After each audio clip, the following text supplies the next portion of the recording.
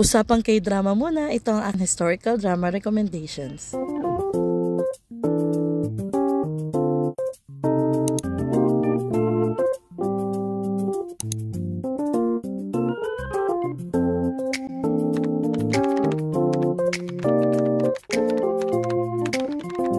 Top 7 in the list. Yes, napakaganda ng drama na ito guys. And dito ko na-appreciate ang acting skills ni Kim Min Jae. Ang story na ito ay umiikot sa love triangle ni Mahon, Getong at ni Lisu. Kasi si Lisu guys biglang nawala dito dahil isa pala siyang hari.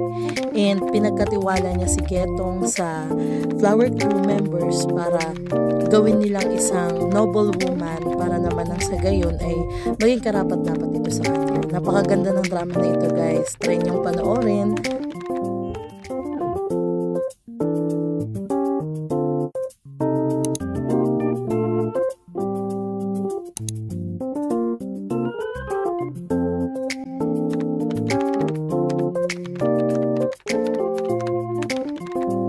And yes, six in the list are Youth. Isa sa mga historical drama na naman ni Park Hyung-sik. Kung na-miss nyo si Park Hyung-sik sa Warang, itong drama na ito ay swak para sa inyo guys. From being a king sa Warang, Si Park Yun-sik dito ay isang crown prince na napailalim sa isang mysterious curse. Kung naghahanap ka ng drama na malalove in the moonlight, swak to swak sa'yo to dahil ang leading lady dito ay nagbibihis lalaki din para maitago ang kanyang identity dahil siya ay na-frame up as murderer ng kanyang family. Yun lang,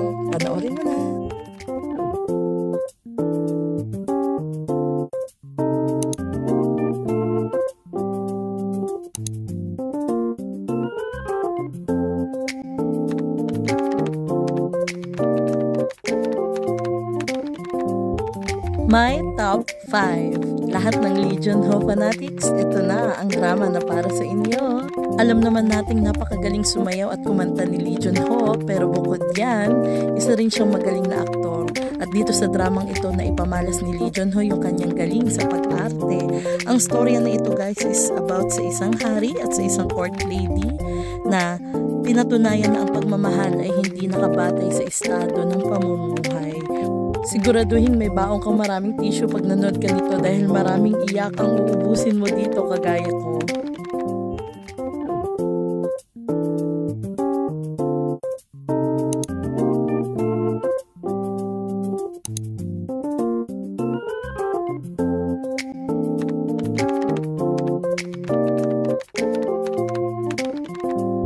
At ang pang number 4 sa puso ko, Love in the Moonlight. Yes, ito ang dramang nagpabalik sa akin sa K-drama world. Ang dami kong kilig dito guys. Dito ko unang nakita si Park Bo-gum. At napakaganda rin ni Kim Yoo-jung dito sa dramang ito. Tungkol ito sa babaeng nagbibihis lalaki at pinalaking bilang isang lalaki. Sobrang exciting at nakakakilig ito nung nalaman ni Park Bo-gum na babae talaga si Kim Yoo-jung dito. Kaya kung hindi mo pa ito napapanood, panoorin mo na guys at tsak kikiligin ka talaga.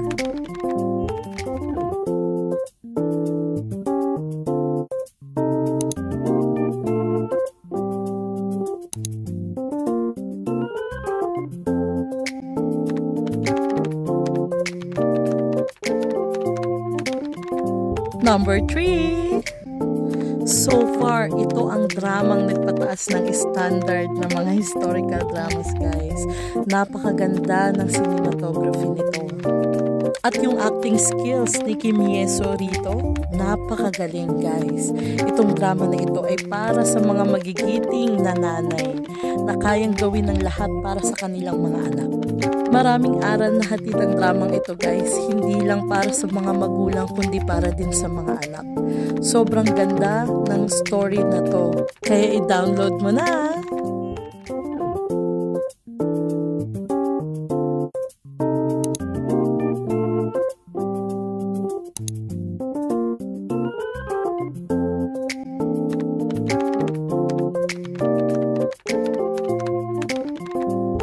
Opo, tama po. Number 2, warang. Kung gusto mong kiligin ng sobra, panoorin mo itong drama na ito. Dito ko unang nakita si Park Seo-joon and after this, pinanood ko na halos lahat ng drama niya. At dito sa drama na ito, makikita mo ang mga K-pop idols na paborito mo. Nandito si Minho, si V, at saka si Park Yung-shik. Kaya naman nakaka-excite panoorin guys at nakakatuwa. Ang pinaka-favorite scene ko dito is yung nag-sword dance sila. Nakakatuwang panoorin.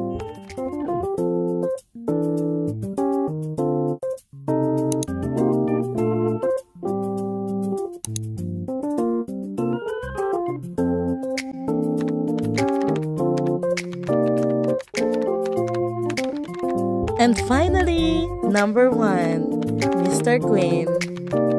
Ito ang drama kung saan sobra akong natuwa, natawa, at naiyak. Parehas na magaling ang lead actors dito guys. At sobra kang kikiligin sa chemistry nila.